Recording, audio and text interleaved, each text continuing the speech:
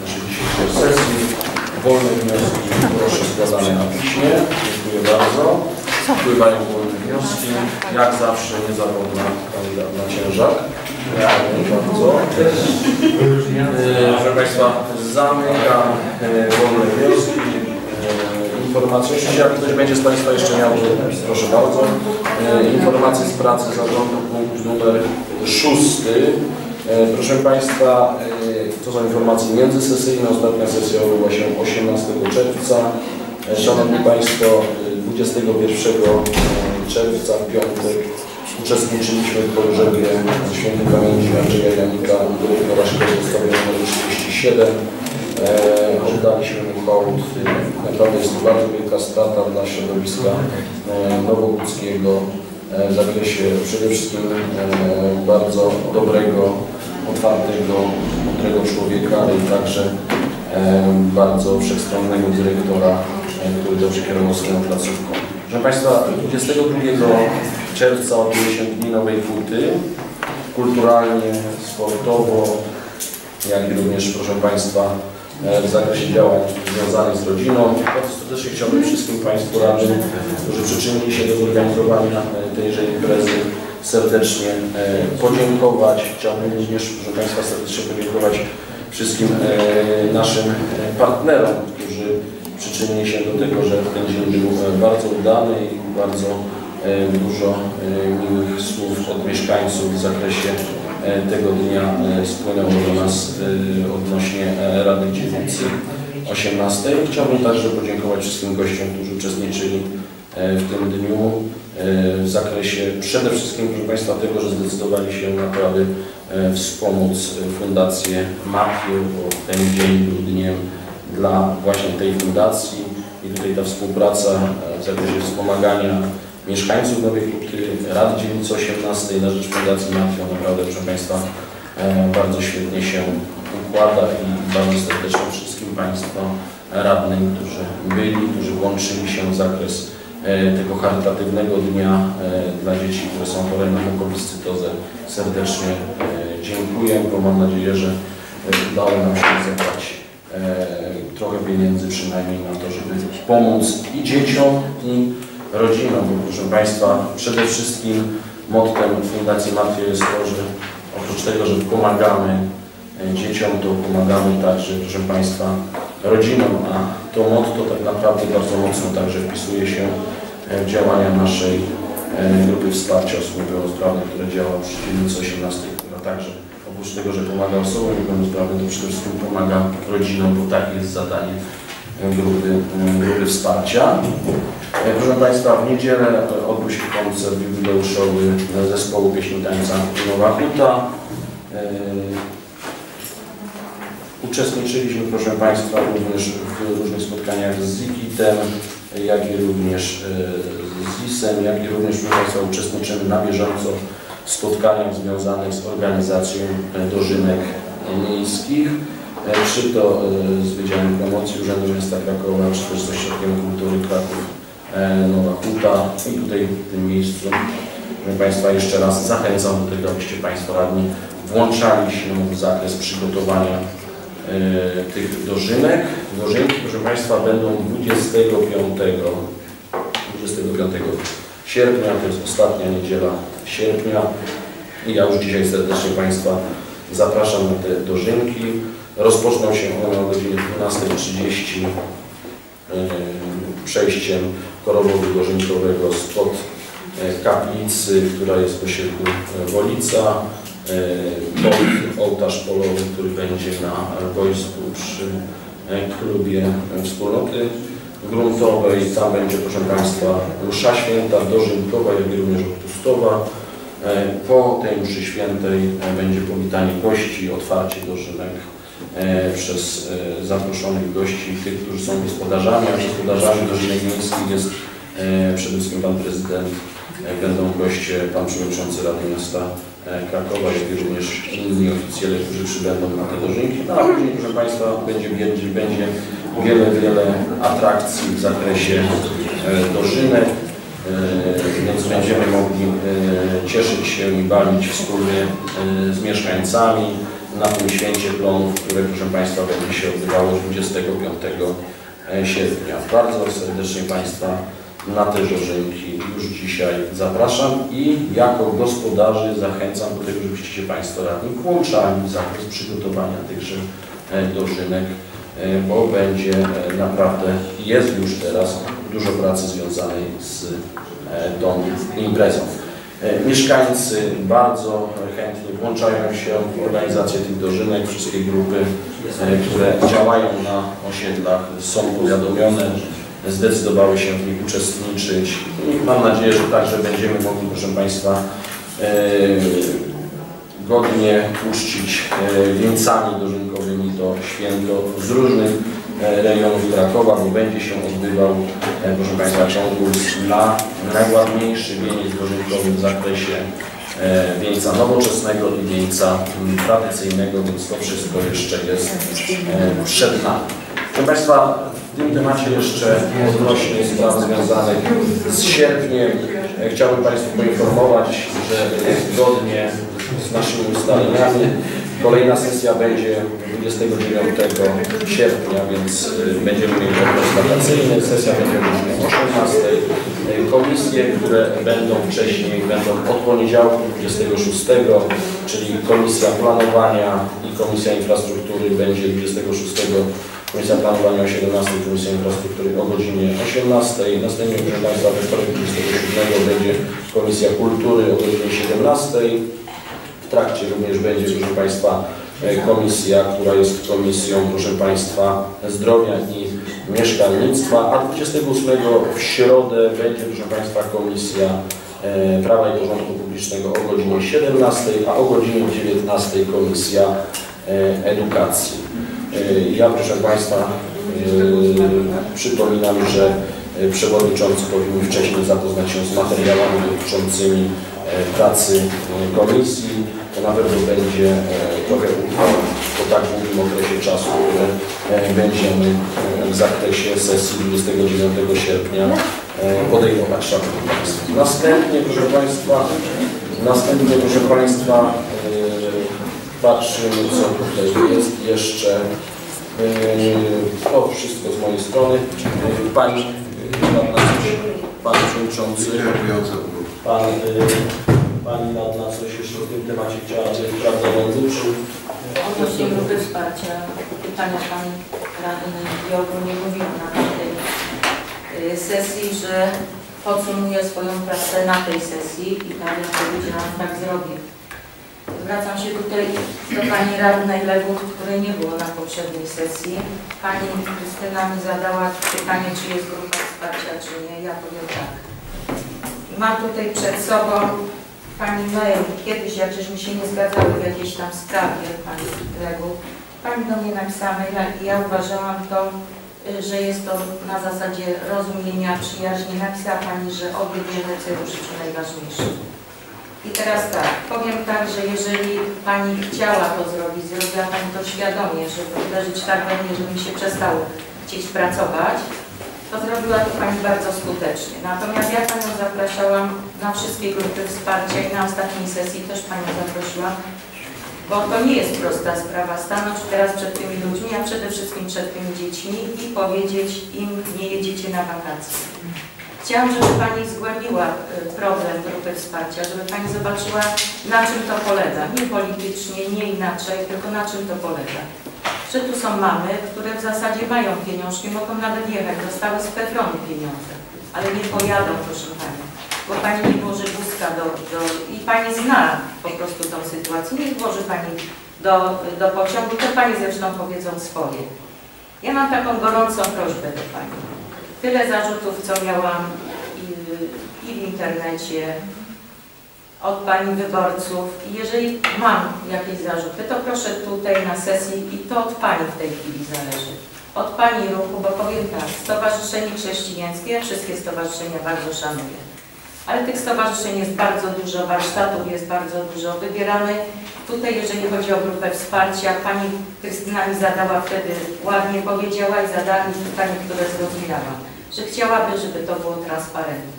W związku z tym ja odeszłam jak gdyby od wszystkich spotkań, tu były spotkania ze szkołami, z instytucjami różnymi. Były y, 18 dzielnic się zebrało pana Donsala. Pani pisała tylko regulamin. Y, Więc ten regulamin powstał. Jak pani wie, jadą 14 dzieci plus ich opiekunowie do Zembrzyc. Nie jest załatwiony transport. Nie wiadomo jakie pokoje są. Pani się nie zainteresowała główną sprawą. Natomiast pa, Pani Krysi chciałam powiedzieć, bo mówiłam, że wyjaśnię sprawę wakacji. Chciałam powiedzieć tak, że to było bardzo transparentne, ponieważ te Panie wszystkie były przysyłane ze szkół specjalnych ze stowarzyszeń. Nawet z całego Krakowa, o czym wie Pan Poremski, jak mieli problemy, po prostu były tu przysyłane. Z 18 dzielnic mamy my tylko na 18 grupę wsparcia. Jest protokół, w którym wyraźnie 18 dzielnic prosi, żeby tego nie rozwiązywać. Ja po prostu w tej chwili y, i powiem tak, rodzice, był tu zarzut, że bogatych ludzi biorę na wakacje. Powiem tak, proszę Państwa, y, robiłam to dla dzieci i dla ich rodzin. Natomiast wszyscy przechodzili przez PEFRON. Pani Legut dokładnie wie, co to jest PEFRON i jak się sprawdza. Zarobki wszystkich. Więc to nie byli ludzie bogaci. A powiem tak, że przykro nawet tego słuchać, bo tak jak do Pana Donsala powiedziałam, Y, Dziecko to jest jedna sprawa, a matka to jest jak wózek dla Pana Donsala. Bo gdyby te dzieci mogły same wyjechać, to byłaby jasna sprawa. One mają po 600 zł renty. Ja Pani Kasiu chciałabym tylko jedno, bo widzę, co się znowu zaczyna. Chcę od Pani, nie od nikogo innego. Powiedziałam grupie wsparcia, że nie wiem, czy jeszcze kiedykolwiek zrobię spotkanie. One powiedzą, jak odczuły teraz i jak dzieci ich odczuwają, że nie pojadą nigdzie. Ja bym chciała, żeby Pani dzisiaj, jeszcze przed tym, jak Pani to z kimś tam skonfrontuje, podjęła decyzję, czy Pani chce, żeby w dzielnicy 18 była grupa wsparcia, czy Pani po prostu uważa, że to, tak jak pisało w internecie, jest jakaś klika, jakieś... To nawet nie są moi wyborcy. Oni są z całego Krakowa. Z teatralnego nie mam nikogo. Więc to nawet nie jest moja kampania wyborcza. Tylko ja Panią dlatego prosiłam na grupę wsparcia, żeby stanęła Pani przed dzieckiem z Downa i powiedziała, nie pojedziesz w tym roku na wakacje. Pani się uśmiecha. Mnie to kosztowało kupę zdrowia, proszę Pani. I w życiu nie przypuszczałam, że właśnie Pani. Tu mam przed sobą tego maila, którego Pani napisała. I teraz proszę podjąć decyzję tu przy wszystkich, bo ja będę w dalszym, jeżeli grupa wsparcia zostaje, to ja będę po prostu w dalszym ciągu optowała za tym, żeby dzieci wyjechały na wakacje. Jak Pani ma jakieś pytania, czegoś Pani nie wie, coś Pani uważa, że jest nieuczciwe, złe, coś, coś złego zrobiłam, to proszę tu przy wszystkich, nie na, na internecie. Bo nie spotkałam się z tym przez 12 lat, a powiem szczerze, że najmniej od Pani się tego spodziewałam. Proszę po prostu pytać wszystko to, jakie Pani miała wątpliwości. Prosiłam na grupie wsparcia, ma Pani jakieś wątpliwości? Uważa Pani, że było to nieuczciwe? Powiem tak, 78 osób jeździło. Jeździło też ponad 90. Za te same pieniądze, to nie były pieniądze z miasta. Proszę mnie pytać po prostu wprost. Uważam, że radni dzielnicy to jeszcze nie są posłowie, nie są radnymi miasta, jesteśmy pomocniczy i po prostu powinniśmy wyjaśniać sprawy nie w internecie, nie szkalować nikogo, tylko wprost mówić. Ja też byłam w opozycji, znam rolę opozycji, mogłam się nie zgadzać z wieloma sprawami. Ale proszę niech mi tu ktoś powie, że ja powiedziałam, że pan Poremski czy pani Ciężar nic nie robili, czy pan Krężołek. Każdy zarząd bardzo chce pracować i pracuje. Wiadomo, opozycji nie może się to podobać i to jest we wszystkich dzielnicach. Ale osobiste ataki po prostu są naprawdę brzydkie. A jeżeli Pani uważa, że była nieuczciwa, proszę mi to teraz powiedzieć. Dziękuję. Dziękuję bardzo. Proszę Państwa, zamykam szósty informacji z pracy zarządu. Otwieram punkt siódmy komunikaty. Ktoś z Państwa radnych chciałby zabrać głos? Pani Radna Kapelak, bardzo proszę. Niemniejszym pragnę się odnieść do wypowiedzi radnej Jaszczewskiej oraz przewodniczącego Moryca z sesji dnia 17 czerwca 2013 roku, w których z przyczyn y, ważnych nie mogłam do końca uczestniczyć. Odnoszę nieodparte wrażenie, że adresatem słów wypowiedzianych przez radną Krystynę byłam ja. W związku z tym pragnę oświadczyć, że nigdy nie padły z moich ust żadne sugestie, aby grupa wsparcia działająca przy Radzie Dzielnicy została rozwiązana. Wręcz przeciwnie, ofiarowałam co najmniej dwukrotnie pani Jaszczewskiej swoją pomoc. Z posiadanych przeze mnie informacji wynika, że wsparcie dla grupy oferował również inny radny, co także nie spotkało się z zainteresowaniem pani radnej. Pani Jaszczewska, i tu jest dosłowny cytat, zgodnie z sugestiami niektórych została rozwiązana grupa wsparcia dla dzieci niepełnosprawnych. Nie znam powodów rozwiązania grupy. Mogę się jedynie domyślać. Dobrze by było, gdyby Pani Radna podała konkretne przykłady owych, owych sugestii, które jakby spowodowały rozwiązanie tejże grupy. Kolejny cytat Pani Jaszczemskiej. Co do y, ci, co mnie zaatakowali, odnieśli bardzo wielki sukces, bo chyba od 12 lat nie załamałam się tak całą tą sytuacją. Przykro mi z, z powodu złego samopoczucia Pani Radnej, jednak uważam, że sesja Rady Dzielnicy nie powinna być miejscem dzielenia się osobistymi rozterkami radnych, lecz służyć działaniu w sprawach istotnych dla mieszkańców dzielnicy, których jesteśmy reprezentantami. Niezależnie od tego pragnę podkreślić swoje uznanie dla działań Pani Jaszczemskiej na rzecz osób niepełnosprawnych. Podkreślam zarazem, że próby przypisywania mi działań na szkodę radnej czy mówienie o jakichś atakach są zwykłą insynuacją. Oświadczam, że nigdy nie zaatakowałam radnej. Wręcz przeciwnie, atakowana jestem ja. Jestem zwolenniczką y, y, budowy placów zabaw dla dzieci niepełnosprawnych. Uważam zarazem, że idea ta powinna służyć integracji, a nie tworzeniu getta. Kilka miesięcy temu oddałam y, swoją koncepcję pod uwagę radnym członkom Komisji Edukacji. Na osiedlu uroczym istnieją trzy przedszkola, w tym jedno specjalne, obok których znajduje się jeden plac zabaw. Miał na celu, y, y, ten pomysł miał na celu wspomaganie działań integracyjnych dzieci pełno i niepełnosprawnych. Ja świadomie używam tutaj cudzysłowiu. Moim zamiarem było wyposażenie istniejącego ogródka jordanowskiego w do, dodatkowe urządzenia zabawowe dla dzieci uczęszczających do przedszkola specjalnego. Aby było jeszcze lepiej, jeszcze fajniej, jeszcze normalniej, oczywiście w cudzysłowie. Wiem, że popołudniami dzieciaki już teraz się świetnie razem bawią. Niestety do dzisiaj mój pomysł pozostał bez echa. Szanowna Pani Radna Jaszczęcka, Szanowni Państwo, uważam, że nie jeden, ale znacznie więcej placów zabaw powinno być wyposażone tak, aby służyć integracji. Trzeba jedynie chęci i niewielkich pieniędzy.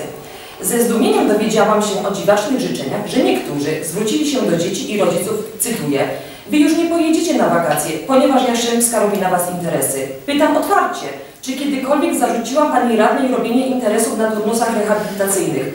Czy powiedziałam, że nie chcę, żeby dzieci jechały na turnus? Prosiłabym o wyjaśnienie kontekstu o jakimś załatwieniu politycznym oraz wskazanie, kto imiennie z nas radnych był przeciwny decyzji o przyznaniu, yy, przeciwny decyzji o przyznaniu środków finansowych na turnus rehabilitacyjny dla niepełnosprawnych. O ile pamiętam i co z pewnością jest odzwierci- odzwierciedlone w protokole, wszyscy radni byli za. Pragnę zapytać yy, przewodniczącego Moryca, jakie działania podjął na niekorzyść grupy wsparcia i jak to przeszkadzałam w wyjeździe na turnus? To jest cytat dosłowny. Ponieważ y, jestem obiektem insynuacji, żądam przedstawienia stosownych wyjaśnień na piśmie. Uważam, że zasady wsparcia finansowego ze strony Rad Dzielnic win- winny być jawne, przejrzyste. Nie inaczej powinno być w przypadku publicznych środków Rady Dzielnicy 18 dla osób niepełnosprawnych, przeznaczonych na przykład na turnusy rehabilitacyjne. Możliwość starania się o wsparcie powinna być dostępna wszystkim zainteresowanym, a środki powinny być przyznawane w oparciu o jasne kryteria. Informacja o turnusach dla osób niepełnosprawnych musi być ogólnodostępna, oparta na czytelnych zasadach, co właśnie miało miejsce w tym roku. Wsparcie nie może być kierowane tylko i wyłącznie do jednej wybranej grupy. Jako radna nie mogę y, nie reagować na to, że osoby mające podobne problemy czują się dyskryminowane, pominięte i niesprawiedliwie y, potraktowane. Moje działania w sprawie wiążą się z próbą wyjaśnienia tego rodzaju za- zjawisk i chęcią pomocy osobom, które ze wsparcia Rady Dzielnic nie mogły skorzystać. Chciałabym, podobnie jak zapewnie Szanowni Państwo, wysłać co roku wszystkie niepełnosprawne dzieci z Nowej Huty na turnusy rehabilitacyjne. Jeśli jednak nie jest to możliwe, stwórzmy każdemu dziecku szansę wyjazdu na taki turnus chociaż raz. Dodam, że mój pogląd, y, dodam, że mój pogląd na temat jasnych, przejrzystych zasad y, wsparcia finansowego dla tego rodzaju inicjatyw jest podzielany przez wiele osób, czego dowody odbieram bardzo często. I oczywiście oświadczenie pisemne dołączam do protokołu.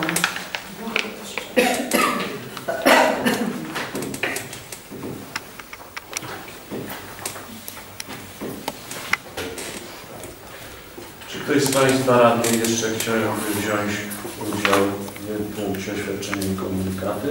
Pani Radna Pankiewicz, bardzo proszę.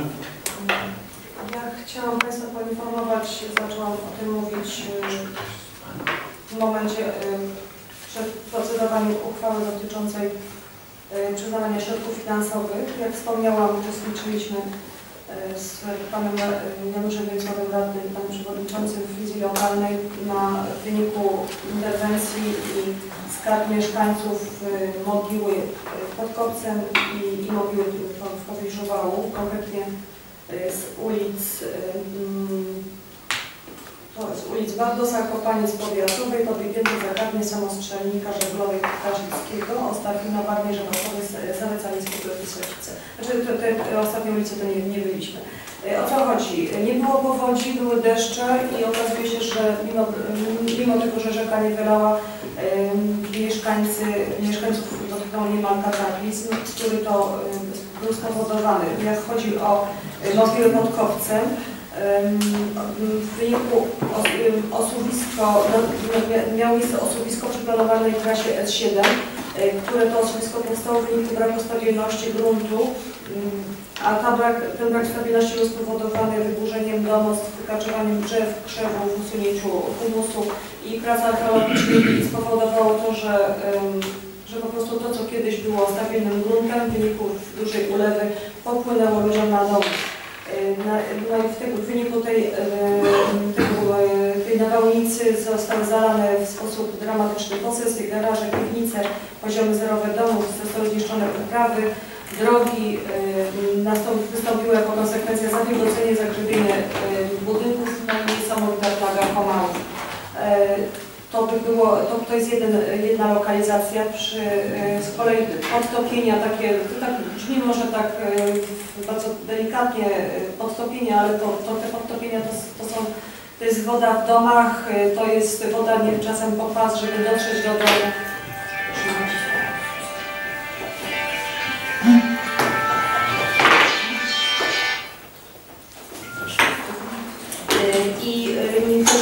Prośba była mieszkańców właśnie z okolic y, Wału, czyli właśnie y, podbiegnięty zakładny samostrzelnika żaglowej Ptaszewskiego, gdzie mają ludzie podobne straty, ale tam wynika z nieuregulowania y, przepraszam. Właśnie to robię. Dzisiaj mamy chyba wszyscy ten problem, prawda? Albo nie wszyscy, może większość z nas, jeżeli Państwo... Józef Szuba. No właśnie, to ja to nie. A ja się już poradzę. Emocje, przepraszam, tak się zdarza, masz rację. Tam y, ludzie mają problem y, też z zalaniami, podtopieniami, a wynika to z, mm, z nie, nie, niedrożności rowów melioracyjnych lub ich braku. Y, I, i, i, mm, i to również ten problem dotyczył ulicy Odbędowej. Mieliśmy jeszcze zgłoszenie, y, które też straty o podobnym charakterze prywatnej posesji, która ucierpiała na skutek takiej trochę samowoli budowlanej i niezabezpieczenia budowy. Co ja to mówię? Z radnym e, Więcławem wystąpiliśmy do zarządu dzielnicy o podjęcie natychmiastowych działań mających na celu poprawę bezpieczeństwa mieszkańców dzielnicy w tej kwestii, czyli w kwestii zagrożeń wynikających z nawałnic i intensywnych opadów deszczu. Wniosek nasz jest poparty z obszerną dokumentacją, em, em, również zdjęciami. Wszystko jest e, u, w zarządzie pana przewodniczącego.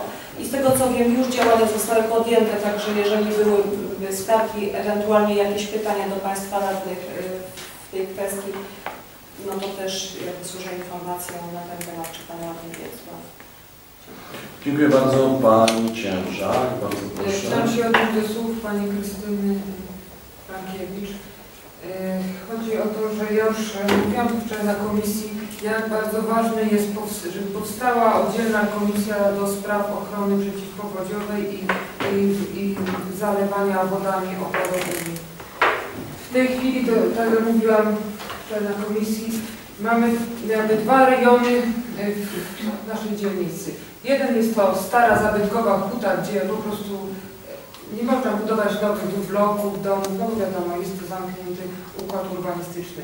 I mamy drugą część, to są osiedla podmiejskie, to jest jedyny rejon w naszej dzielnicy, który ma możliwość rozwijania, możliwość budowania.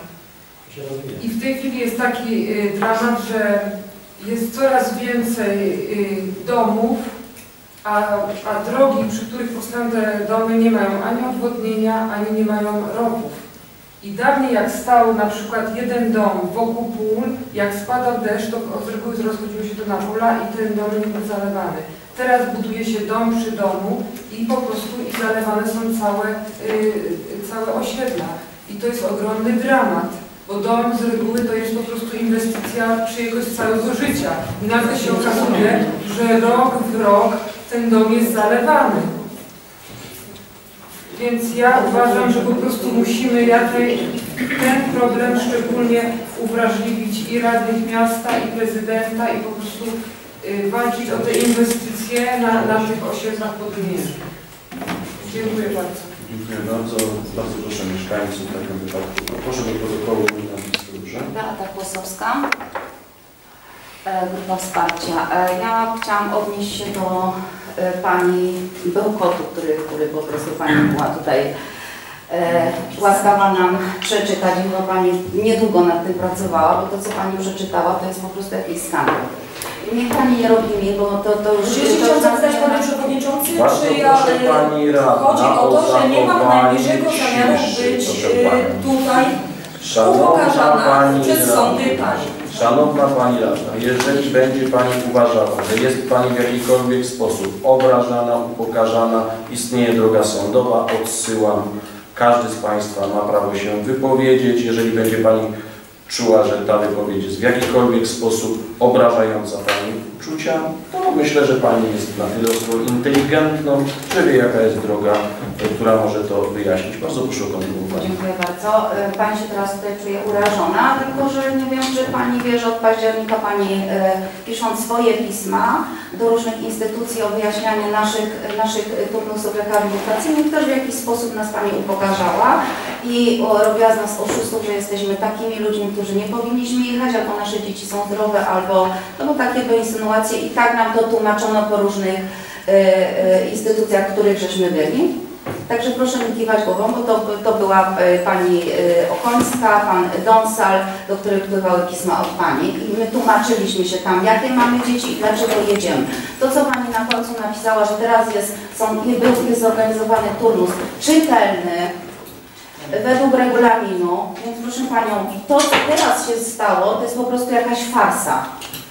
Bo y, nie było żadnego, skąd Pani wie, jakie pojechały dzieci, na, pojadą na dzieci na turnus rehabilitacyjny? Każdy mógł wpisać jaką chciał kwotę, y, którą, y, którą ma, bo to jest niesprawdzane, tylko wpisywało się to, co się chciało i, i nikt nas nie sprawdzał. I nikt nikogo nie sprawdzał. Tutaj, jak żeśmy mieli, to był każdy sprawdzony, każdy wiedział, ile ma pieniędzy, za co jedzie, jak jedzie i kim jest. A tam nie. Jest regulamin, że do 36 roku życia jadą dzieci starsze. 50-letnie. Jest regulamin, że do jakiejś tam sumy są bardzo wysokie sumy powpisywane. Więc to jest farsa. W tym roku turnus, y, była Pani, czy, czy wie Pani, gdzie my w ogóle jedziemy? To są pokoje siedmioosobowe. Wyobraża sobie Pani y, czasy turnus rehabilitacyjny w siedmioosobowym pokoju za 1380 zł od osoby plus podróż, no musimy sobie zapłacić sami, żeby tam dojechać. No, no Pani tak chciała wszystko skrupulatnie sprawdzić. To proszę sprawdzić teraz, co zorganizowało miasto. Jak to wygląda. Proszę sobie pojechać do Zembrzyk i zobaczyć, jakie są warunki. Y, Miasto dało Caritas, ośrodek, y, który niby miał być najtańszy. 1380 od osoby w siedmioosobowym pokoju. Proszę sprawdzić, kto jedzie na ten turnus, jakie jadą dzieci i jakie mają y, dofinansowania. Będzie Pani to łaskawa zrobić? Czy tylko nas Pani przetrzepała od października i jakoś nic nie wyszło, bo wszystko było y, tak jak trzeba? To, że Pani zagłosowała za turnusem rehabilitacyjnym, to już miała Pani taką presję wszystkich i nas i, i tutaj radnych, że no, no, ch- trochę byłoby Pani głupio chyba powiedzieć, że, że w tym momencie Pani jako jedna nie głosuje na, za to, żeby przeszły pieniądze na turnus rehabilitacyjny. Czemu Pani nie zgłosiła się na ten turnus do miasta? Przecież Pani mówiła, że też by Pani chciała pojechać, y, że, że nie miała Pani takiej możliwości, że Pani nie widziała grupy wsparcia, dopiero Pani Podlaszewska Panią poinformowała. Czemu Pani się nie zgłosiła na turnus rehabilitacyjny do Urzędu Miasta? No, no proszę Panią, no, Czy ja mam prawo do głosu, czy nie? więc, więc to, nie, ja po prostu, Pani mi przed swoją e, rolę? nie widzi Pani swojej roli, to proszę, No, Tak jak y, tu walczy Pani o ogródki dla niepełnosprawnych, y, Pani sobie wyobraża dziecko niepełnosprawne y, na wózku w, w, w, w takim ogródku jordanowskim? Co mu Pani tam zamontuje? Hamak? Do piaskownicy też się nie da. Nie ma Pani po prostu zielonego pojęcia na temat niepełnosprawności dzieci. I za czym się będzie rozmawiać na ten temat, to proszę sobie pójść do szkół, do przedszkol, zobaczyć jak takie wejść do naszych rodzin, zobaczyć i wtedy będzie Pani coś rozmawiać na ten temat. Bo tak, to jak na dzień dzisiejszy nie ma Pani zielonego pojęcia na ten temat, co Pani mówi i co Pani pisze. Dziękuję bardzo. Bardzo proszę też. No też się chciałam odnieść do tej sprawy. Proszę o imię i nazwisko. Jadwiga. Wajda. Ja chciałam powiedzieć, że ja jestem Pani elektoratem. Ja Panią wybrałam na radną. Bardzo się cieszyłam, bo wydawało mi się, że taka młoda osoba, prężna, doświadczona może albo próbująca się doświadczać i mająca e, pełną głowę pomysłów, zechce pracować rzeczywiście dla nas.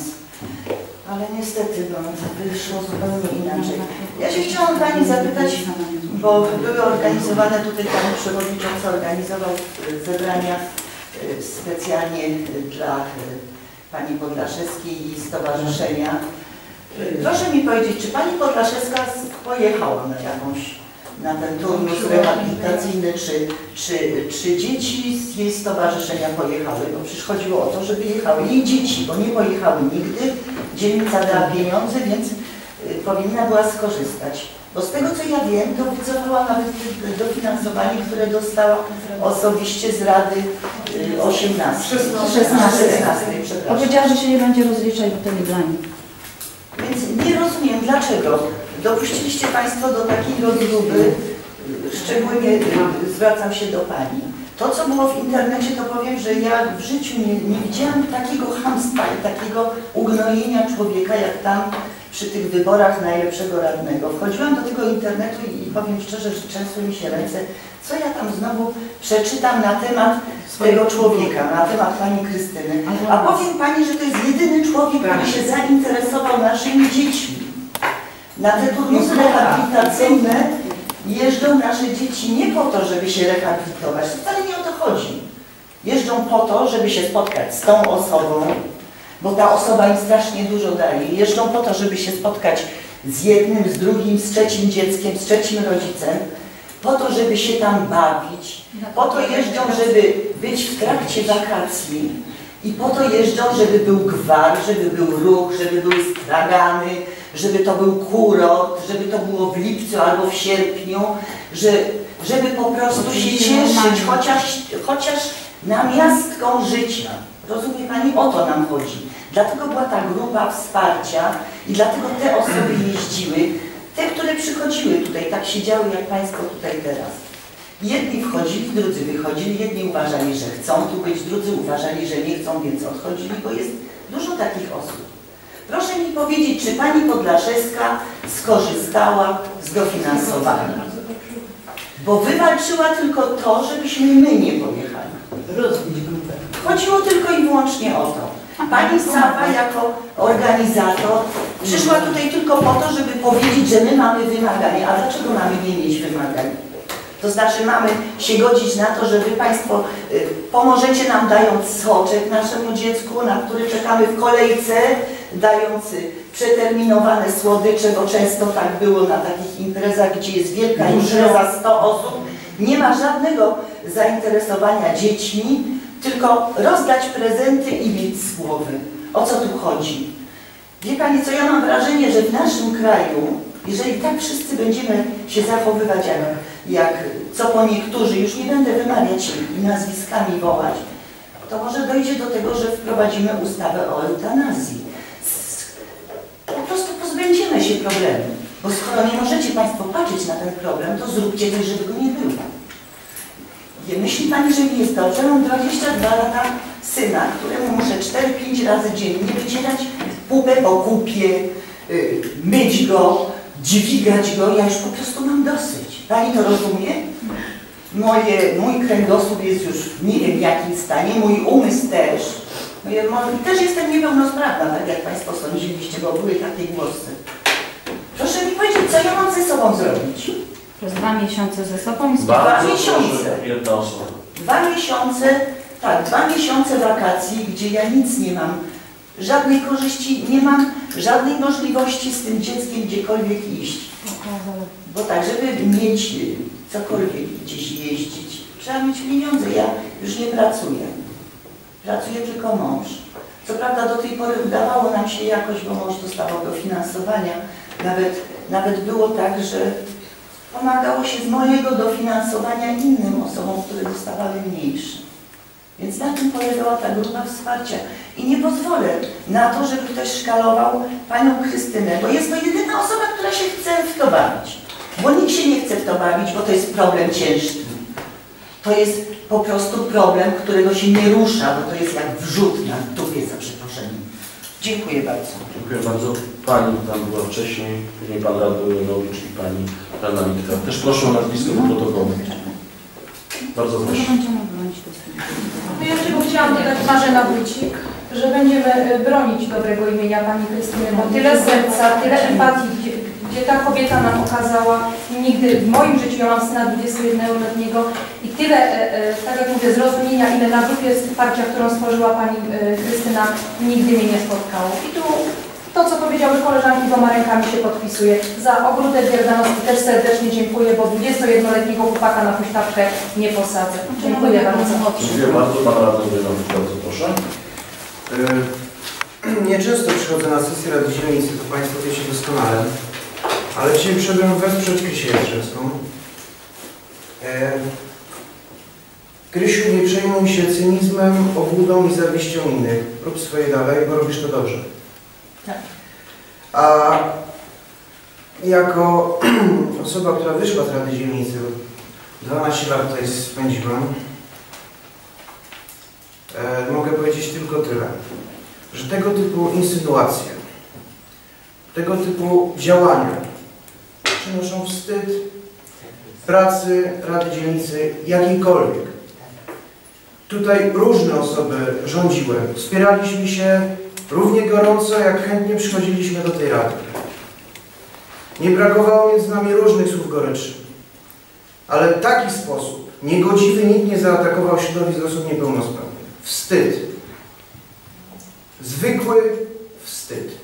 Dziękuję Panie Przewodniczący. Dziękuję bardzo. Pani Radna Mitka, bardzo proszę. Ja czuję się bardzo poruszona tą całą sytuacją i to właśnie, co powiedział Pan Przewodniczący Urynowicz, e, były Przewodniczący Urynowicz, że takiej sytuacji nie było, to muszę powiedzieć tak, że ja starałam się nawiązywać kontakty właśnie tak zwanymi, tak zwanymi ludźmi, którzy są w PiSie, o dobrą współpracę i o koleżeństwo. A doszliśmy do takiego momentu, że to jest cały czas boksowanie. Nie ma jednej sesji, żeby nie było boksowania. Po prostu sytuacja jest nie do zniesienia. Jeżeli taki mamy w przyszłości polityków, to ja bardzo dziękuję. To jest jedna. Teraz tak. Jeżeli chodzi o, o, o, o całą tą sytuację, którą Pani tutaj stworzyła, to jest jakby całe takie podsumowanie tych trzech lat, co my tutaj przechodzimy. I wie Pani, no łatwo było podejść do Pani Krystyny, zapytać się, zainteresować się, jak co, jakby Pani miała tą dobrą wolę, tą chęć współpracy, tej empatii, że rzeczywiście dzieci są chore, że ona, że to jest kobieta, która tyle lat to prowadzi, co Pani przyszła i Pani tak, nie wiem, pociągnie się wszystko, bo Pani chciała zaistnieć. No jak Pani zaistniała? W naszych oczach nie. Następna sprawa, to ja muszę powiedzieć to, bo ja już nie wytrzymuję czasami, bo jest mi bardzo przykro, że Wy Panie macie trzech różnych pośredników, nie wiem, którzy Was pomagają, może ja nie wiem, ja w to nie wchodzę. Tak opływacie ludzi tutaj od nas rady imiennie, że to jest po prostu nieprzyzwoite, to jest już nie do wytrzymania. Mało tego, jesteście na tyle tchórzliwi, że się nie podpisujecie. No to jak to jest? No ja bardzo przepraszam, ale kto Pani na przykład dał prawo podsumowania nas tutaj wszystkich? A to bywa, tak.